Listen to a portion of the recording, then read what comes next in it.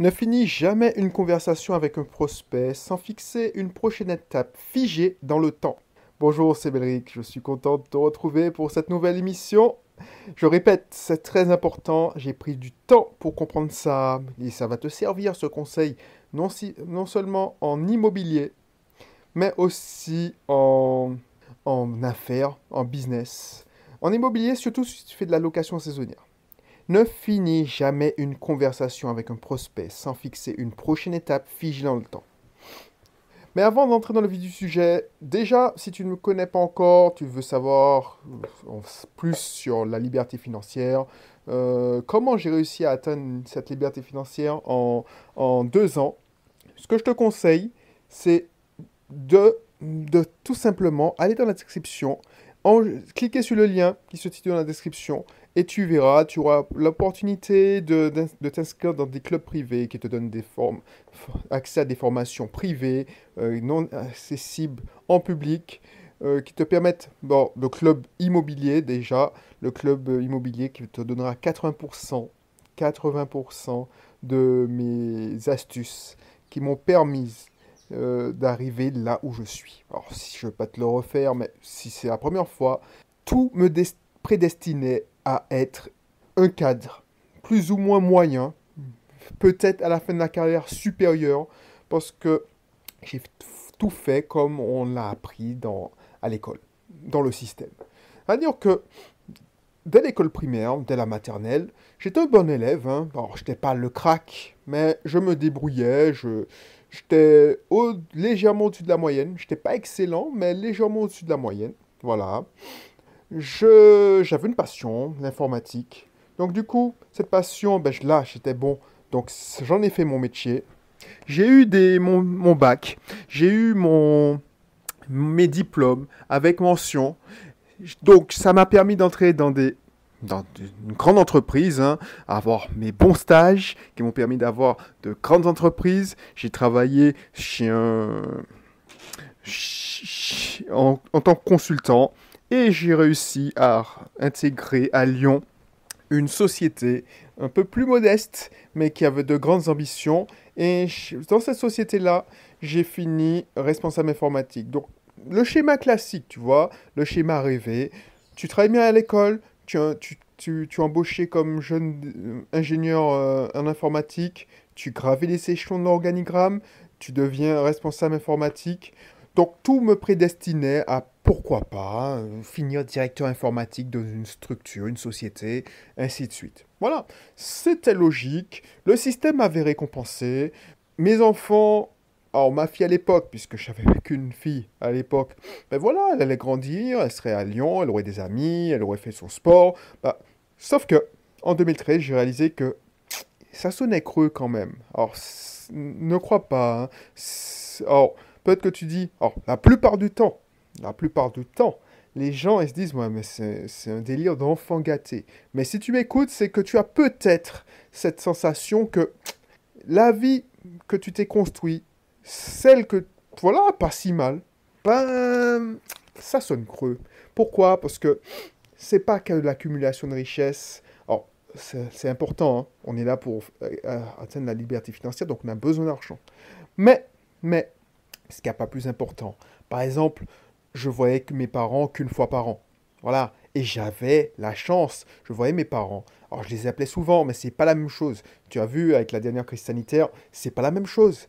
Euh, les voir une fois par an, donc tu les vois, mais tu les vois en train de vieillir. Ils voient pas leurs petits-enfants grandir. Et voilà. Donc, voilà, c'est... Alors, je dis voilà souvent, mais... Tout ça pour te dire que c'est pas ça, c'est pas ça. Et j'ai décidé d'avoir cet objectif de rentrer en Martinique. Et c'est pour ça que je, en 2014, j'ai lancé le blog My Cat is Witch, parce que le déclic a eu en 2013.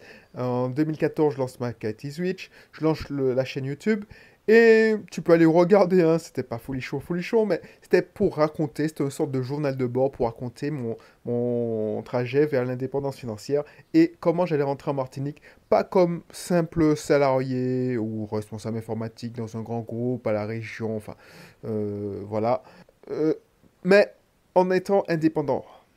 Et ça fait plus de 5 ans, 6 ans que je n'ai pas de fiche de paye. Et j'ai réussi. Et pourtant, je continue à le faire, à enregistrer des émissions, prendre mon, sur mon temps pour enregistrer des émissions, alors qu'aujourd'hui, je dirige trois sociétés et j'ai une quatrième activité de l'euro meublé non professionnel. Et pourtant, je le fais parce que si ça peut à ton tour t'aider, c'est pour ça que je te propose de rejoindre mon club IMO privé, le lien c'est dans la description. Si en écoutant cette émission, mais les autres, tu as la possibilité d'avoir une inspiration, une idée que tu peux porter, qui va germer, voilà, je serai content. Je serai content et j'aurai accompli euh, mon travail pour aujourd'hui. Donc, cette émission, je reviens à l'émission, quand tu as un prospect, que ce soit en IMO, hein, parce que on dit prospect business, non? Ça peut être aussi un prospect IMO, si tu fais de la location courte durée, ça va, ça va arriver. Il y a une phase de conversation. Parce que la vente, c'est une conversation, hein. la transaction, c'est une conversation. Une conversation entre trois qui offrent un service ou qui offrent un produit, mais là, en l'occurrence, dans l'immobilier, c'est un service, et le locataire potentiel qui, sera ton futur client. Pour l'instant, il est candidat. Il est candidat, donc il est prospect. Donc, ce locataire potentiel, ben, de temps en temps, et ça m'a coûté pas mal de bon, pas mal de sous, il faut pas exagérer, mais pas mal de déconvenus, quand tu dis, bon, tu crois que ce candidat locataire, il est client? Non, il est prospect. C'est-à-dire qu'il n'a pas encore sorti son, son, virement, il t'a pas payé, donc il n'est pas client. Donc la grosse erreur, la grosse erreur, quand tu, tu, tu entends, quand quelqu'un te dit oui, euh, euh, tu fais visiter ton bien. Et souvent, mes clients tombent dans le panneau. Heureusement que euh, je, leur mets la puce à l'oreille. Quand quelqu'un a visité, quand quelqu'un dit, par exemple, vous mettez une annonce sur le bon coin, voilà, c'est typiquement dans mes, dans mes, mes ateliers en ligne, dans mes sessions mastermind, c'est souvent ça le, cas que je prends. Vous surtout si vous faites de la location courte durée. Sur la location courte durée, alors, il y, y a des gens qui passent que par Booking, Airbnb, euh, Abritel, enfin, tous ces gros-là, ils ont des process rodés. Donc les conversations sont écroutées au maximum. D'ailleurs, tu ne peux pas trop converser si tu, fais bien ton travail. Si tu le site les sites comme Booking par exemple, euh, les gens réservent, tu n'as rien à dire, c'est tout. Tu, n'es que fournisseur. Euh, tu n'es que fournisseur. Attention, hein, en location à courte durée, quand tu passes par ces plateformes, tu n'es qu'un fournisseur. C'est pas tes locataires. C'est les locataires de Airbnb, c'est les locataires de Booking. Les mecs, ils savent même pas que tu existes, ils savent pas qui tu es. Ils savent qu'ils ont réservé chez Booking. Mais je te parle de si tu veux faire ça, du bouche à oreille. Euh, tu as mis ton annonce sur le bon coin. Euh, tu as un site internet pour faire de la location courte durée. Mais ça marche aussi si tu fais de la colocation, la location meublée. Imagine que tu mettes ta ton annonce sur le bon coin ou sur ce loger. Et puis, à quelqu'un qui est intéressé. Voilà, bonjour, j'aimerais avoir plus de photos. Il demande souvent plus de photos. Donc toi, tu envoies tes photos. Ensuite, la personne éventuellement demande à visiter. Et toi, tu fais l'erreur de ne pas fixer, de ne pas fixer la prochaine étape. Mais la prochaine étape figée dans le temps. C'est-à-dire, au lieu de, quand la personne dit, ok, bon ben, je dois faire une visite dans la semaine et je vous donne une réponse rapidement. Tu dis, ok, bah là, là, je te garantis que tu as perdu une opportunité. Parce que tu es, dans ta tête, tu te dis, bon, c'est bon. Euh, surtout que si la personne t'a montré sa motivation, que oui, oui, c'est sûr à 90%. Et puis, la personne, tu vois, te donne plus signe de vie. Pourquoi? Parce que la personne, alors elle n'est pas nécessairement malhonnête, mais on est tous, euh, on sort, on est rattrapé par notre quotidien, on n'a pas la tête à ça parce que ça devient plus une priorité. Donc, la personne, tu l'attends, tu l'attends, tu la relances, elle, elle te fait perdre ton temps en fait. Et finalement, elle te dit qu'elle a trouvé ailleurs. C'est arrivé à combien de mes, mes, mes clients? À combien de mes clients? Ça m'est arrivé à moi, surtout en location courte durée. Surtout quand tu, tu as une petite fenêtre de tir en location courte durée, tu fais ton beurre dans la, dans la haute saison. Et si tu ne loues pas ta haute saison bien et tu la remplis pas, tu vas grammer tout le reste de, l'année. C'est ça qu'il faut retenir. Donc, il faut être, avoir une transaction rapide. Et les gens qui te font marcher, qui te demandent des photos, qui te posent beaucoup de questions, c'est dangereux. Quand ils te disent qu'ils vont réfléchir, quand ils te disent qu'ils vont réfléchir, et tu dis pas, ok, c'est quoi votre processus de, réflexion et quand est-ce que vous allez me donner votre réponse? Si elle te dit, bah, je sais pas, euh, bah, tu insistes, parce qu'il faut, il faut déterminer la prochaine étape. Je vous propose, dans la prochaine étape, de vous envoyer le contrat, puisque vous avez dit que vous êtes intéressé, vous vous envoyez l'empreinte de carte bancaire ou le dépôt de garantie, et ce n'est que quand le dépôt de garantie est sur mon compte ou l'empreinte est sur mon compte que la, la, location est réservée. Là, elle est toujours non réservée. Et le premier qui, prend le dépôt, de, qui paye, eh ben, euh, c'est à lui l'appart. Je te garantis que ça changera tout dans ta vie. Si tu laisses les gens mener la danse, ça veut dire que tu as perdu la main. Parce que tu n'as pas fixé la prochaine étape.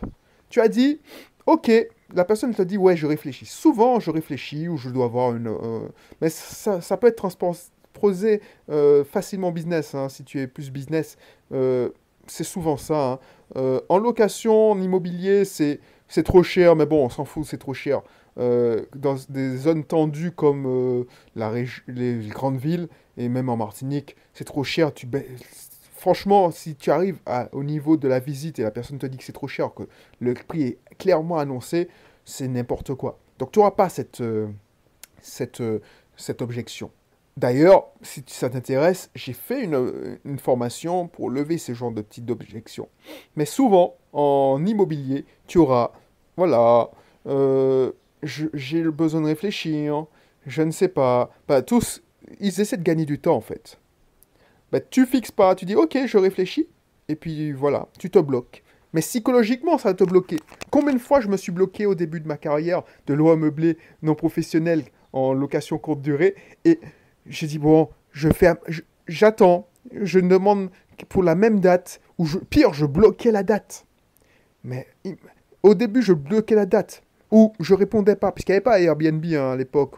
donc euh, on bloque. Euh, non, non, il y avait euh, mon calendrier et je disais ouais mais il y a quelqu'un qui est en cours de, de réservation donc ben, la personne te, va voir ailleurs alors que dit oui voilà les photos et tu tu attends et puis justement cette personne eh ben, elle est prête à, ben voilà tu l'as fait patienter mais si tu avais fixé les prochaines étapes voilà dans 20 ok bon ben vous allez réfléchir et vous allez me donner votre réponse quand? Euh, je ne sais pas dans deux ou trois jours alors j'ai besoin d'une date précise et un horaire parce que d'ici là, je ne veux pas bloquer les autres personnes. Donc, euh, est-ce qu'on peut... Vous pouvez me donner la réponse mardi avant 16h, s'il vous plaît? Et la personne, si elle est sérieuse, elle passe à l'action. Et quand je te dis mardi, ça veut dire que tu es soit lundi matin, soit samedi. Mais tu laisses pas une semaine de réflexion. La personne sait elle, si elle doit réviser. Alors, il y a des gens qui disent oui, mais je n'ai pas encore pris le billet. Mais c'est pas grave. C'est pas grave. Je dis ok, mais je mets une option dessus. Vous payez le dépôt de garantie au moins, vous faites l'empreinte. Et à ce moment-là, je pourrais euh, bloquer l'appart. Mais je ne peux pas bloquer votre appart. Même chose pour la colocation. Tu me dis oui, mais non, mais je ne fais pas ça. Bah, même chose pour la location meublée. Parce que psychologiquement, et c'est ça le truc, psychologiquement, si tu, tu dis Bon, ben, tu considères ce candidat, ce prospect, comme un client, c'est-à-dire un locataire, ça veut dire que tu vas relâcher tes efforts, tu vas passer à côté d'une opportunité. Et ça, ça, ça coûte cher. Ça coûte cher parce que quand un client, tu penses que c'est un bon client et te dit oui, ok, je, je fais le virement tant, puis tu vois que le client, le, virement tend euh, à arriver sur ton compte. Alors tu vas te dire oui, mais bon, bon, il y a les excuses, genre le, le RIP doit être euh, validé dans, euh, dans les 72 heures. Ok, ça je comprends. Par contre, par contre, euh, s'il commence à te raconter des histoires, j'ai une anecdote, c'est pour ça que je rigole. Il euh, y a un mec qui, avec ABDIMO, il voulait louer. Euh, alors, ABDIMO, pour si tu sais pas, c'est euh, c'est une agence de sous-location où, où je suis le dirigeant. Donc, c'est pour, pour faire la tactique de la sous-location. Et si tu t'intéresse, j'en parle dans mon club IMO. Donc, voilà. Tu pourras. le mec, il est soi-disant rentier, mais il veut louer un truc qui, qui, qui n'est pas de son standing, justement. Et il raconte sa vie. Non, non. Et finalement, on lui a dit, ok, on, on s'est appliqué cette, cette, étape. Ok, vous êtes, vous avez, voilà les prochaines étapes. Donc, dans les deux jours, euh, je vous propose de réserver ce bien-là. Bam Et puis voilà, l'argent n'est pas arrivé, ben, on n'a même pas retiré l'annonce. Et ça ne nous a pas fait perdre notre temps. C'est pour ça que je te préviens, pour ne, que tu ne perdes pas ton temps. Je pense que tu as compris, mais je le répète, hein, je le répète, avant de quitter un prospect, avant de quitter un, prospect, il faut fixer la prochaine étape. Figer dans le temps. Ne finis jamais une conversation avec un prospect sans fixer une prochaine étape figée dans le temps. Voilà. Ça, ça marche. Alors tu me dis, ouais, c'est je suis sûr que tu te disais, mais c'est quoi le lien avec l'immobilier? Bah tu sais, l'immobilier c'est un business comme un autre. Moi, je dirige des, des, des business en ligne, euh, un business en ligne, une agence de sous-location, euh, un garage, et je te garantis, tous ces concepts que je t'apprends là, ben ça s'applique à tous les business. Voilà, donc si tu n'es pas encore inscrit dans le club IMO, vas-y. Si, si encore le club business, ben vas-y, tu cliques sur l'inscription, tu pourras avoir, le club IMO, et surtout le club IMO et le club business. Et puis on se retrouve pour une prochaine émission. Allez, bye bye.